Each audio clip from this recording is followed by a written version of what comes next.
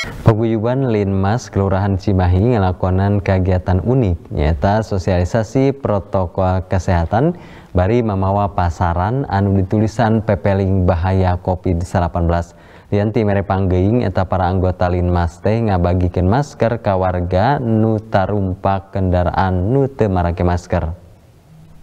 Upama perlindungan masyarakat atau Linmas kawantar salaku pasukan pengamanan hajat landian kitu teh teu copikeun Linmas di Kelurahan Cimahi Kota Cimahi mah. Eta para anggota Linmas malah jadi jurid pangharipna dina ngalakonan sosialisasi prak-prakan ngalarapkeun protokol kesehatan. Samalah eta para anggota Linmas teh make tareka anyar tur unik nyata bari memawa pasaran anu ditulisan pepeling bahaya COVID-19 tepi ngancam nyawa. Bari make pengeras suara atau toa, para anggota Linmas ngadareg dega jerogang heureut pamukiman warga bikin di pepelingan ngenaan bahaya COVID-19. Di jalan raya, para anggota Linmas selain ukur mere panggeing ke masyarakat, tapi baringan bagikan masker ke warga atau anu tumpah kendaraan anu katohian teu make masker.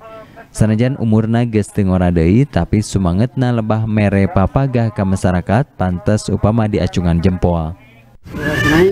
Saya uh, sebagai uh, garda terdepan Binmas dalam dalam tugas uh, penyampaian COVID-19 mempunyai inovasi baru yaitu mengingatkan kepada masyarakat yang ada di lingkungan Kelurahan Cimahi dari RW 1 sampai 10 dengan berkampanye ini mengingatkan jadi karena sudah banyak berjatuhan akibat COVID-19 itu, untuk itu kami bersosialisasikan 3M yaitu mencuci tangan, memakai masker, menjaga jarak, dan menghindari kerumunan. Mereka berada di masyarakat, mereka sayang sama masyarakatnya, mereka himbau dengan cara unik agar diingat mudah diingat oleh masyarakatnya. Bukan berarti Jadi, untuk menakut-nakuti masyarakat dengan kondisi seperti ini?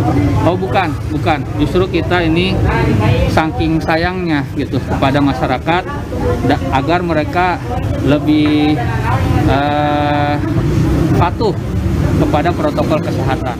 Hal-hal anu ngedukasi kawasan dilakukan ku para anggota Linmas di Kelurahan Cimahi Merna upama dilakonan ku nu sejana pikeun nyinglar sumebarna COVID-19. Algi Muhammad Gifari, Bandung TV.